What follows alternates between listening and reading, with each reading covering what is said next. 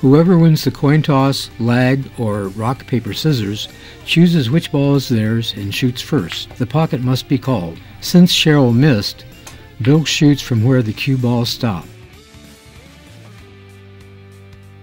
Anytime the cue ball is pocketed, it is respotted at its initial position.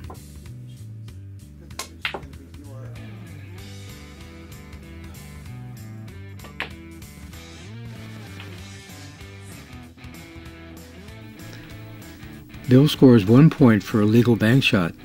The ball is immediately respotted and Byll shoots again. With this kick shot, if neither ball didn't hit a rail after contact, it is not a foul.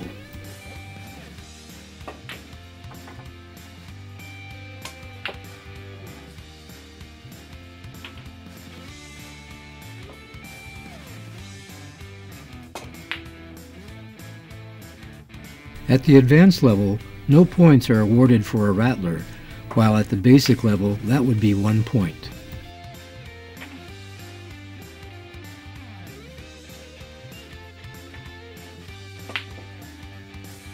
As with all but two of the fouls at the advanced level, missing the object ball completely results in the incoming player shooting from where the cue ball stopped or respotting it at its initial position.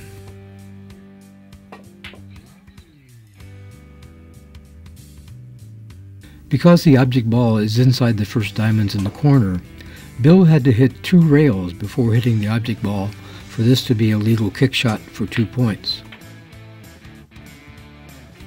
Again, because the object ball is within the first diamonds, this one rail kick shot scores one point.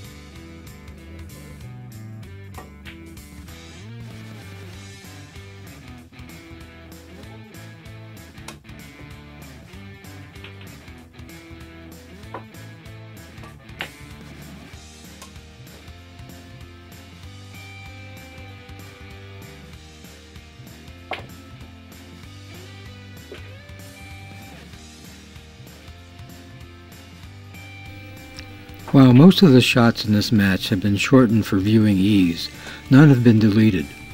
The actual time it took for this game to 5 was about 15 minutes.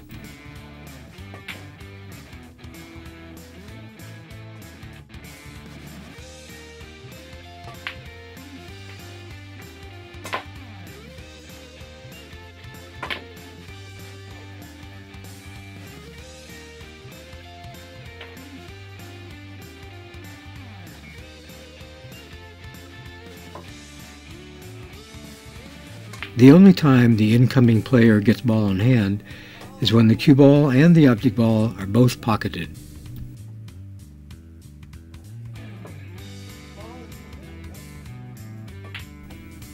And Cheryl makes good use of that ball in hand to win the match 5-4.